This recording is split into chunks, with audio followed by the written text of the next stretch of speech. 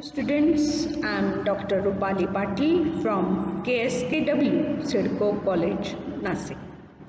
As COVID-19 pandemic affect educational system worldwide, college closure impact the students and teacher also.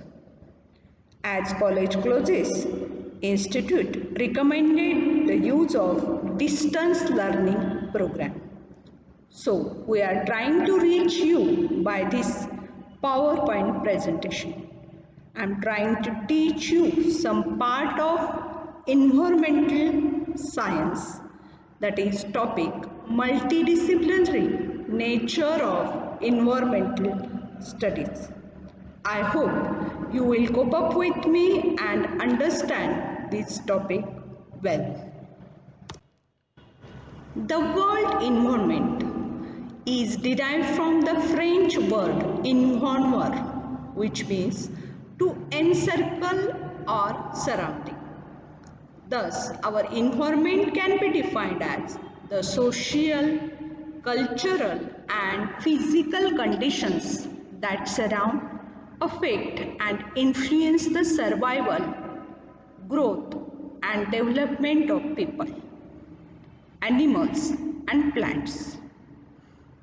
This environment is defined as the sum of the total of water, air and land and their interrelationship which exist among them with the human beings, other living organisms and now segments of environment.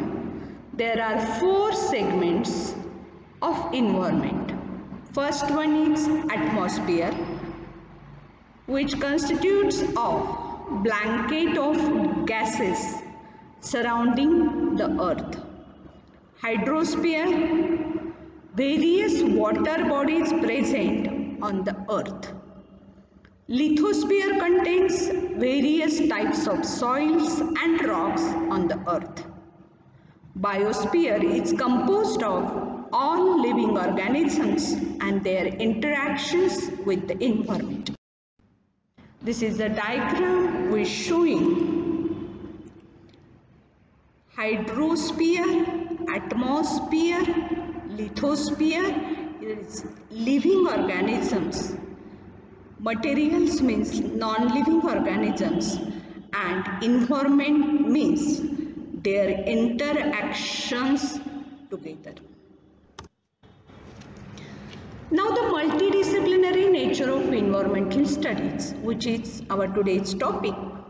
The environment studies is a multidisciplinary science because it comprises various branches of studies like chemistry, physics, medical science, life science, agriculture, public health, sanitary engineering, Environmental studies is interdisciplinary in nature, including the study of biology, geology, politics, policy studies, law, religion engineering, chemistry, and economics to understand the humanities effect on the natural world.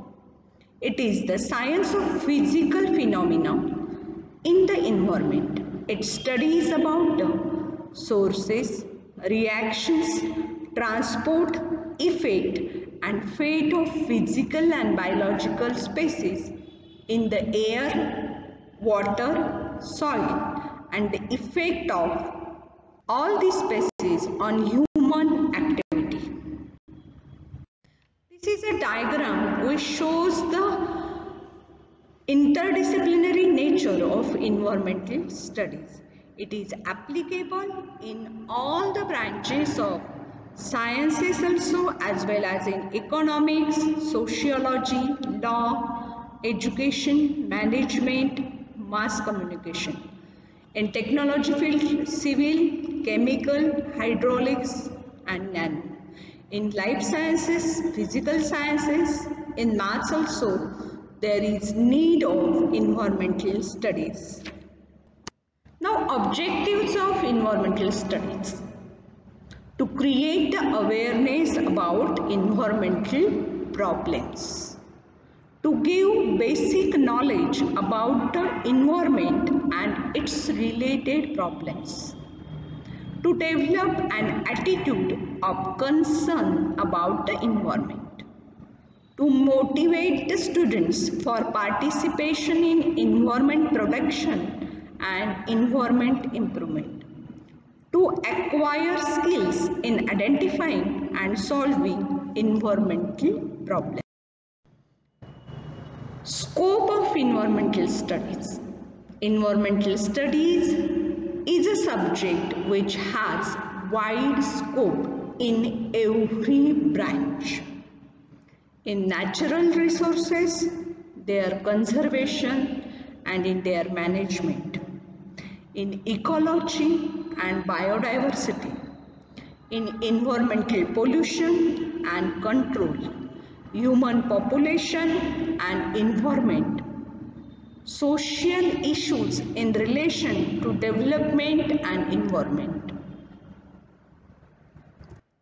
Career options in environmental science field. In research, skilled environmental scientists have play an important role in research in examining various environmental problems in scientific manner in developing various technology to promote the sustainable development and to control the various pollution. Now in green marketing, by studying the various laws related to environment, need for various environmental lawyers as well as green marketing, the marketing goods that are environmentally friendly. Such products have EcoMark certification and therefore environmental auditors, environmental managers have great demand in recent years. Green media, environmental awareness can be spread through the television, radio, newspaper, magazine, different types of advertisement, hoardings for which environmentally educated persons are required. Environmental consultancy. Many non-government organizations, government bodies are engaging environmental consultants for systematic study of environmental related problems. In industry, there is also have the career options for environmental scientists in related to pollution or related to technology, related to soil and water testing labs, industry has wide scope for environmental science. Now importance of environmental studies. Environmental studies help maintain ecological balance by providing a basic operating knowledge of environmental system and processes. It gives information regarding the changes that takes place due to anthropologic factors. Environmental studies help to achieve sustainable development and understand the relationship between development and the environment. This discipline helps to educate the people regarding their duties towards environmental. Environment is one of the subject that is actually global in nature. Environmental study deals with the analysis of the processes in water, air, land, soil and organisms which leads to pollution or environment degradation. It also deals with the most important issues like safe and clean drinking water, hygienic living conditions, clean and fresh air, healthy food for man and for the development. The discipline provides us with basic knowledge of the environment and various environmental issues. It examines the scientific basis for environmental and social concerns about our present energy needs, global climate changes, toxic emission and waste disposal. It also provides knowledge about the development and utilization of energy resources and the role of public policy in environmental law, business administration and environmental engineering. These are emerging a new career opportunities for environment protection and management. Environmental studies also aims to protect biodiversity growth in human population and the resulting increase in material consumption and technological development have increased the rate and scale of degradation of the environment. The concepts from the environmental studies can be applied to the study of agriculture and the design of sustainable production system also. With the pollution control laws becoming more straightened, are finding it difficult to dispose of the produces. Need for public awareness. First it is about growing population. A population of over thousands of millions is growing at 2.11% every year. Over 17 million people are added each year. It puts considerable pressure on the natural resources and reduces the gains of development. Hence, the greatest challenge before us is to limit, the population growth. Although population control automatically lead to development, the development leads to decrease in population. Due to the population, it affects the development rate. The second is about poverty. The poverty and the environmental degradation are mixed with one another. The vast majority of our people are directly dependent on the nature resources of the country for their basic needs of food, fuel, shelter. About 40% of our people are still below the poverty line. Third need of public awareness is environment degradation. It has adversely affected the poor who depend on the resources for their surrounding. The challenge of poverty and the challenge of environmental degradation are the need aware in public. Agricultural growth. The people must be made familiar with the methods to sustain and increase agriculture growth without damaging the environment. High yielding varieties and tremendous use of fertilizers and various pesticides cause the damage to soil, water and air. The next need is to increase the awareness about the groundwater. Factors like community waste, industrial influent, chemical fertilizers, pesticides have polluted our surface water and affected quality of the groundwater also. It is essential to aware the public about the water pollution. It is essential to restore the water quality of our rivers and our water bodies so that the, there is provision of safe drinking water for us.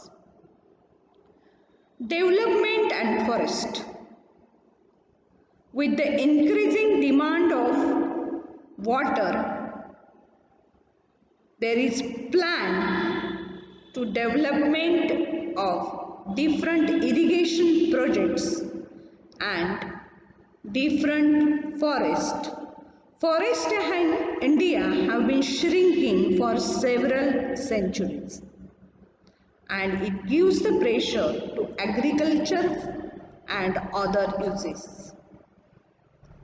Vast areas that were once green stand today as wasteland and therefore the modern knowledge and skills of the forest department should be increased and the strategies of forest development should be planned and aware amongst the public. Degradation of land. There is soil degradation due to the different waste disposal in the land. Then the different consequences about the urbanization. 27% of Indians live in urban areas. Urbanization and industrialization gives the birth to great number of environmental problems. Air and water pollution. Due to the industrialization, there is air pollution as well as water pollution also. We have to need about these factors to create the awareness. Now institutions in environment. There are different institutions. They work related to environment. The Bombay Natural History Society, Mumbai, Worldwide Fund for Nature India in Delhi, Center for Science and Environment in Delhi, CPR Environmental Education Center at Madras, Center for Edu Environment Education.